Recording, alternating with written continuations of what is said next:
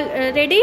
Okay. 3 plus 1 plus minus 4 plus 5 plus 1 plus 1 plus 2 minus 5.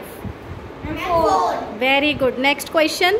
7 plus 2 minus 4 minus 5 plus 1 plus 1 plus 2 minus 4 plus 5. Answer Five. very well.